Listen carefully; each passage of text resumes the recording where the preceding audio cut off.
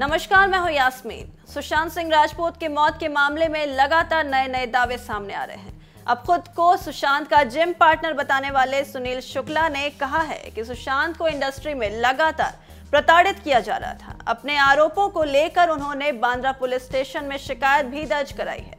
उनका कहना है कि सुशांत के फिल्मी करियर को खत्म करने के लिए कुछ लोग लगातार कोशिश कर रहे थे।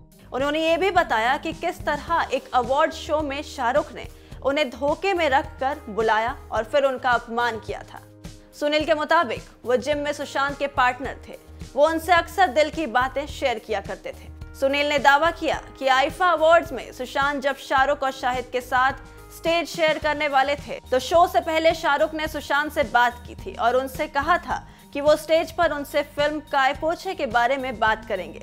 इसके लिए उन्हें एक सिग्नेचर स्टेप को प्रैक्टिस करने को कहा था। इसे लेकर सुशांत बहुत खुश थे।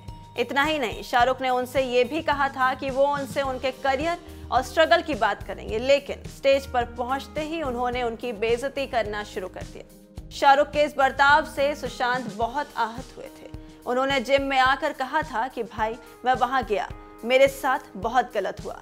उन्होंने मेरी बेइज्जती कर दी। सुशांत को खुद का जिम पार्टनर बताने वाले सुनील शुक्ला के इस दावे में कितनी सच्चाई है, ये तो हम नहीं जानते, लेकिन कुछ दिनों पहले भी सोशल मीडिया पर इस अवार्ड फ़ंक्शन का एक वीडियो काफ़ी वायरल हुआ था, जिसमें शाहरुख और शाहिद दोनों ही सुशांत का मज़ाक उड़ा रहे थे, जिसके चलते शाहरुख को ट्रोल भी किया जा चुका है। इतना ही नहीं, लोगों ने शाहरुख को बॉयकॉट करने की भी मांग कर दी थी। कहा जाता है कि अवार्ड शोज़ में सब्सक्रिप्टेड होता है।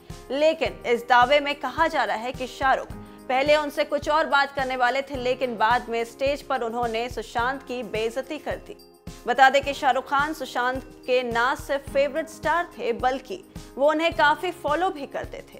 ऐसे में यह खबर कई लोगों के मन में सवाल खड़े कर सकती है। वैसे भी कई लोग सुशांत की मौत को नेपोटिज्म से भी जोड़कर देख रहे हैं। कंगना रनौत बॉलीवुड में आउटसाइडर्स के साथ होने वाले खराब बर्ताव पर कई बार बात कर चुकी हैं ऐसे में शाहरुख को लेकर जो ये दावे हो रहे हैं, इससे कहीं वो अब फंस ना जाएँ।